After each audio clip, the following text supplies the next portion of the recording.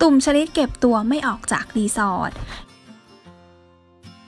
ยังคงตามต่อกันเรื่องราวของผลกระทบเกี่ยวกับสถานการณ์โควิด ของคนในวงการบันเทิง โดยวันนี้เป็นเรื่องราวของนักแสดงหญิงที่ห่างหายจากวงการไปนานกว่า 10 ปีสำหรับแนนชลิตา ลูกสาวคนสวยของคุณอาชลิตเฟื่องอารมณ์ ที่ทราบกันดีว่านอกเหนือจากงานในวงการบันเทิงแล้ว เจ้าตู่ยังมีธุรกิจเกี่ยวกับรีสอร์ทที่พักในพื้นที่จังหวัดจันทบุรีอีกด้วย รวมไปถึงธุรกิจเล็กๆน้อยๆในกรุงเทพอย่างร้านทำเล็บ และโรงเรียนสอนโยคะ ส่วนของธุรกิจรีสอร์ทบ้านตุ่ม Village and Resort หาดเจ้าหลาวที่จังหวัดจันทบุรี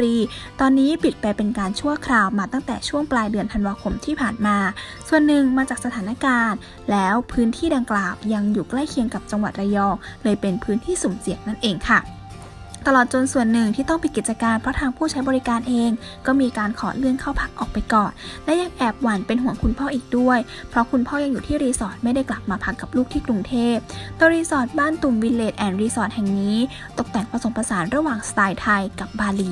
แวดล้อมด้วยธรรมชาติอันร่มรื่นและติดหาดเจ้าหลาว บ้านพักแต่ละหลังมีสีเป็นเอกลักษณ์ของตัวเอง และ ตั้งชื่อนำหน้าด้วยคำว่าตุ่มและสีเช่น ตุ่มแดง ตุ่มส้ม ตุ่มชมพู ตุ่มม่วง เป็นต้น แถมบ้านพักแต่ละหลังนั้นยังมีตุ่มตั้งอยู่หน้าบ้านจนกลายเป็นเอกลักษณ์ของรีสอร์ทแห่งนี้ นอกจากนี้ยังมีสระว่ายน้ำให้ว่ายเล่น รวมถึงร้านอาหารชื่อดังอย่างครัวชลิต ให้นักท่องเที่ยวได้มาลิ้มลองค่ะ หากเพื่อนๆคนไหนมาเที่ยวจังหวัดจันทบุรี ก็สามารถแวะมาเช็คอินนอนกันได้ ขอบอกเลยว่าน่ารักและร่มรื่นมากๆเลยล่ะค่ะ